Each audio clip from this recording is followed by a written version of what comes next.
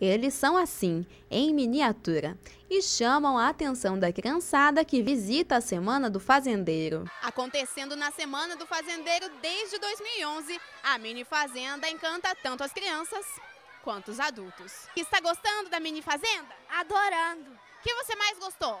Hum, eu gostei dos animais pequenininhos. Nossa, eu achei impressionante. E você vai continuar vindo visitar a Mini Fazenda? É claro. Eu tô achando super legal. Eu gostei. Eu gostei muito desse daqui da ovelhinha. Eu gostei dos pôneis. Muito legal. Muito. Ah, é muito peludo e muito gostosos. Ele é fofinho. Já na tenda montada entre o edifício Arthur Bernardes e o centro de vivência, as características do grão e o gosto forte do café são destaque entre os adultos. A gente avalia os efeitos físicos, que é como quebrar as vezes, argias, e a parte sensorial, que é a bebida do café. O que determina o preço do café é a junção da parte física e da parte sensorial. Com esse curso, os alunos têm noções básicas eles podem entender um pouco mais é, desses cafés perante o mercado.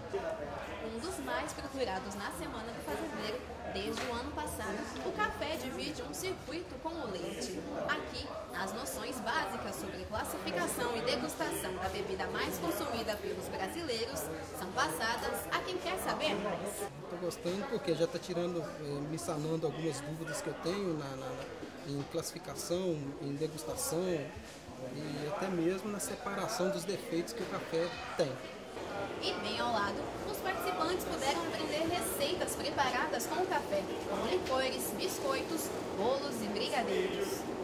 É um curso muito gostoso que dá para você estar tá usando o produto regional aqui e estar tá implementando a sua culinária e é uma coisa muito saborosa. É a primeira vez aqui na Semana do Fazendeiro, está sendo a primeira vez. Teve uma grande procura, a turma estava fechada e o pessoal está gostando bastante.